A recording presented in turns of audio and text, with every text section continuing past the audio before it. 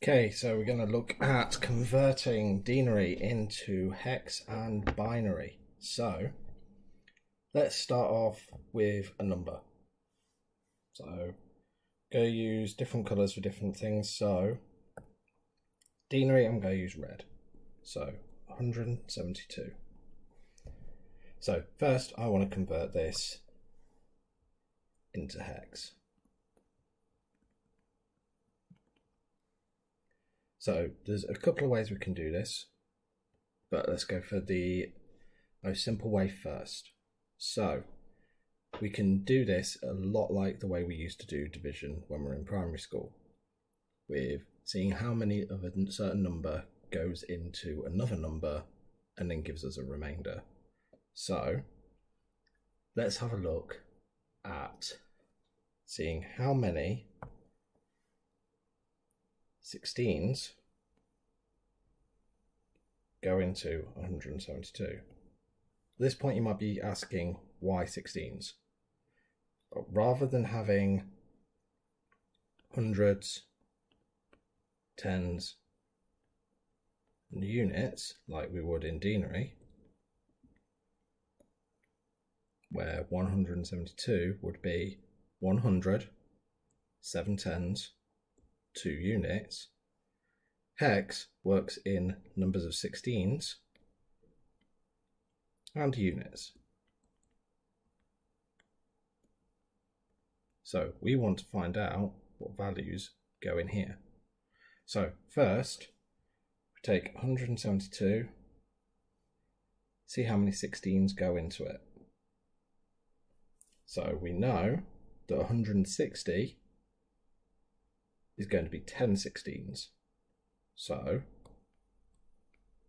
I don't see us having any more than 10 16s there because that gives us a remainder of 12.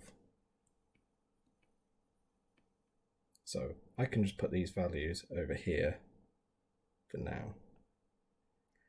Now I need a quick way to convert numbers over 10 into their random letter forms. So let's just do that now. So I'd recommend doing this at the start of any time that you know you're going to need to convert binary into hex into denary. So let's put base 10 here, base 16 here, which is hexadecimal. And this was denary. And then over here, just to save myself a bit of time in the future, go put base 2, which is binary. So, let's start out writing all the numbers from 0 to 15. So we've got 0, 1, 2, 3, 4, 5, 6, 7, 8, 9, 10, 11, 12, 13, 14, and 15. So, let's just go through the numbers. So we've got 0 in hex, 1, 2, 3, don't know what happened there, 3, 4, 5, 6, 7, 8, 9. Ah, this is where we'd convert to an A to a B, to a C, to a D, to an E. It'd let me write to an E, to an F. While we're here, may as well do it in binary as well.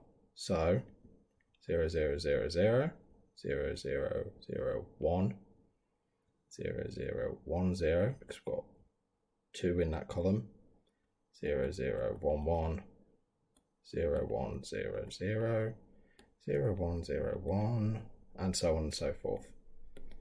I'm not going to bore you with my voice. Well, too much.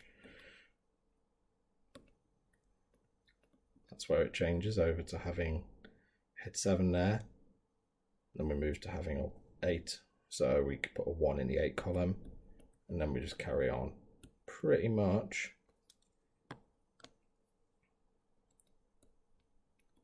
as before. So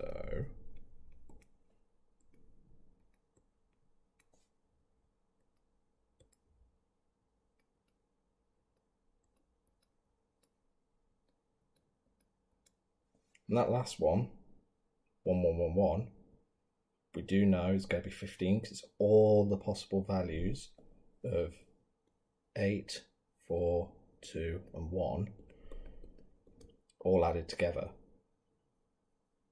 Okay, so now that we've got our little table which is there to help us, we can look at what 10 is 10 is A, so I can write A in there. And 12, 12 here, which is C. So 172 in denary is going to be AC. Brill. Okay, let's use this same technique to convert into binary. Now in binary, we don't have hundreds and units, we don't even have 16s and units. We have, we have 1 to 8, we have 64s, 32s, 16s, 8s, 4s, 2s, and 1s. So, I have to do this whole process for each of these numbers. This is just method one.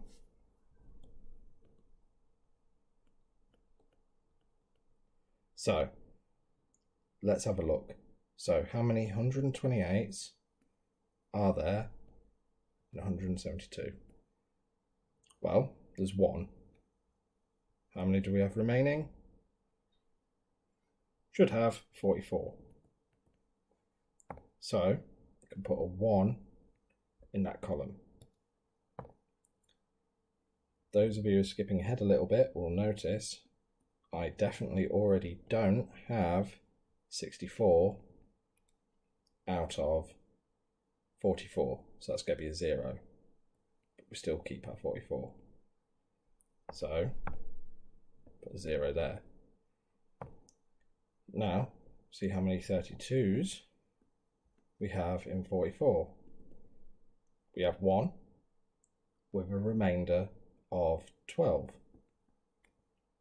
So in this column, I can put that there. Again, you can already see that I'm not going to have any 16s out of 12. So I'm going to keep that 12. So I can put a zero here. So if I move this just over here, you might start seeing a bit of a pattern emerging.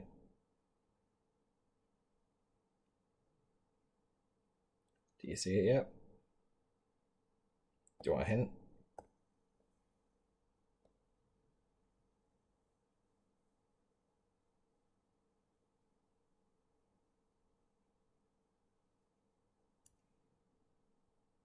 So suddenly we've already seen 1010 has turned up in our binary number. Reason that is, is because A turned up in our hexadecimal number. But we'll carry on anyway. So, how many 8s do we have in 12? We have 1 with a remainder of 4. So I put that in there. How many 4s do I have in 4? Unsurprisingly, I have one 4 in 4, but with a remainder of 0. Now, when as, as soon as we get to a point when we've got a remainder of 0, we know that the next two numbers are automatically going to be 0. But if we've been asked to show our working all the way along, then we can just do 2's into 0, 0, ones into zero is zero, and then those numbers transfer up. Great. So this also brings me nicely onto what would be method three. sorry, method two. Helps if I can count.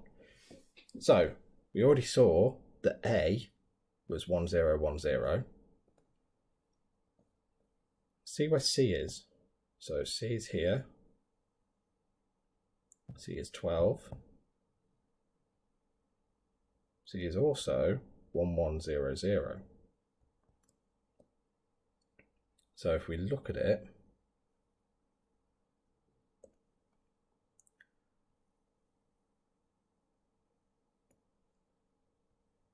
we can block off these numbers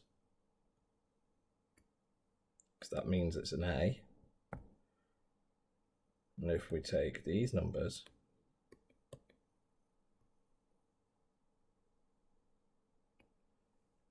that's going to be C. This works both ways. So we can take any random number and convert very quickly between hexadecimal and binary just by doing it this way. Whatever number comes first in hex will be the number that comes first in binary. Same with the units going second into there and the other way around. So let's try this with a random number. So let's take EC. So I know that E is 1110.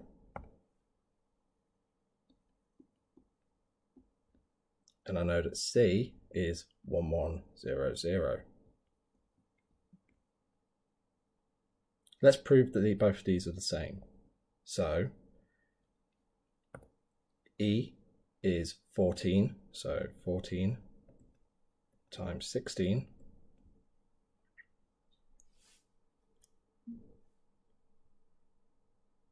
is going to give us 224 plus 12 224 plus 12 is going to be 3 sorry 236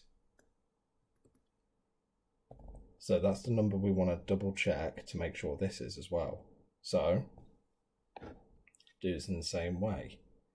Except this time, rather than dividing each of these, all we need to do is times 1, where it's underneath a column, by that number, see if we get it. So, 128, 64, 32, 16, 8, 4, 2, and 1.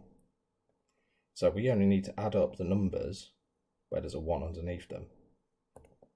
So, got 1 to 8, plus 64, plus 32, plus 8, plus 4. Don't need to bother about any of the numbers with zeros underneath them. This second half, we already kind of can see 8 and 4 is going to be 12. So we add up 128 and add 64 to it, that's 192. Add in our little 32 that's hanging out there,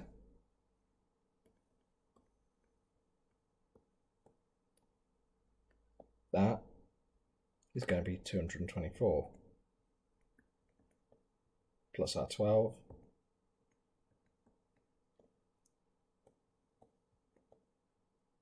236 so this little table saves us so much extra hassle in trying to work out what certain numbers are. So I can't emphasize it enough to write this table down it's pretty much the first thing that you do if ever you're asked to convert binary into hex or hex into denary or any which way. If you need any more help, please ask. Other than that, thank you very much.